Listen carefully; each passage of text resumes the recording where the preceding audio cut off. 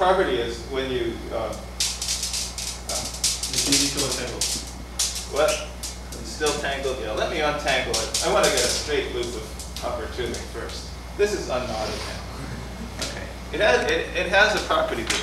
As soon as you, when you, uh, when you join the two ends together, and you form a loop. I think you really have to solder them together so that, so they're definitely fast anyway. When you form a loop with it, it creates a kind of singularity in the universe. It rips the fabric of the universe apart. And what happens is that um, it, it creates a kind of two twofold branching of the universe around the loop. And, and the effect is, as you, if I, if you stood and kept this loop long enough, that what you'd see through the loop, it would sort of gradually drift away from what, what otherwise. And you'd start to see a kind of different world.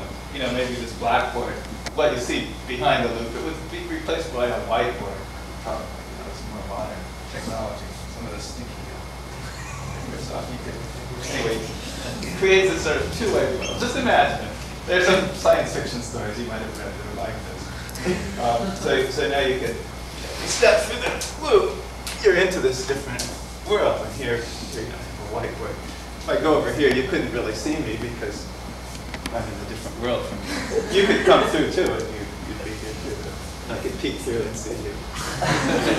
and then, then I, I go around again. This is only causing a two-way branching the universe. I go around again, I look through, and now through the loop, I see the blackboard rather than the whiteboard. We step back, and now I'm in the world room with the blackboard.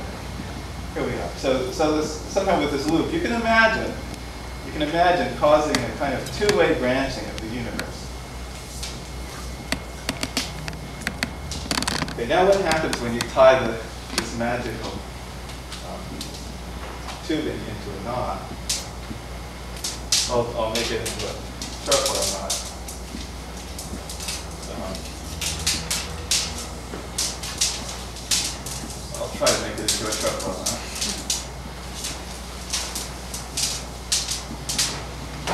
Is this, is this, is this good? Did I get a knot?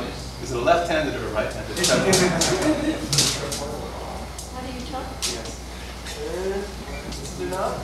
It's not a knot. It's just a twist. Are you sure? Left-handed with Wait. Well, is it or not? It's a knot. Looks like a knot. Oh, It's a knot. It's a knot. This is a right-handed trefoil. Yeah. Each time it twists, each time, each of the crossings, it twists the same there. Okay, I'm gonna, I think I'll dispense with the, I'm gonna put this down and draw a diagram of that. Okay. Try to see what happens. Well, we have it there.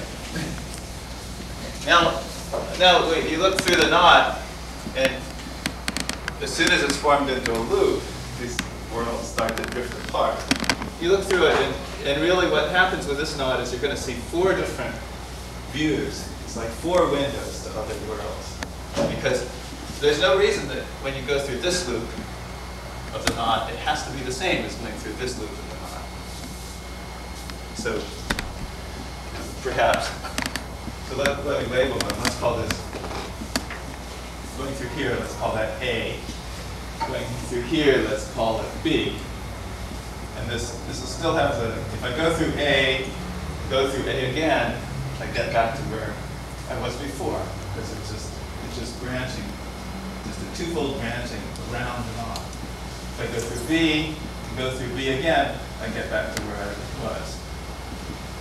Uh, and it doesn't matter which way I go through A or which way I go through B. So if I go through A, I get to this A, this other world. Label what, what happens when I get here and what happens when I get here, but it's in fact redundant. Because if I go through A and now, and now go through B, that's really equivalent to going through this middle region. Um, let me demonstrate actually with the rope. Can you visualize this in your head? Could- Couldn't you just move the, the lower portion of the knot up and have A and B be same? You could move them around, you know, and have, have them overlap. I mean, the thing is, there are many ways to draw the knot. it gets confusing if you try to think of all ways to draw the knot, though.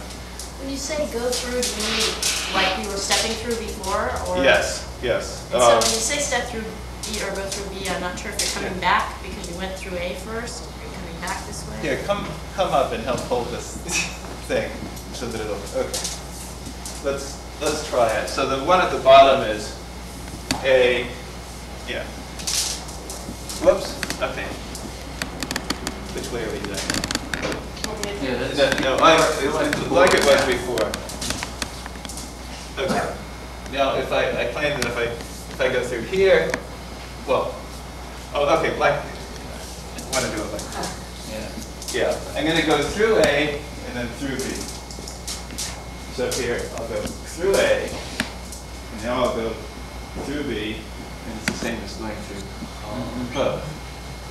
Wait, do that I again. can, I through A, come clear around to, to this side, and then go through B. And, Oh, and it's the same as going through the middle. Uh, it's too low to see. Shall we do it again? Um, you can even do it with your hand, I think. You go through A, through B, and it's like that. So, so you couldn't, it, it has to arrive at the same place because, you know, I, I, I could think of, know, taking a path like this way, this way, or I could change the way I go to what's like so.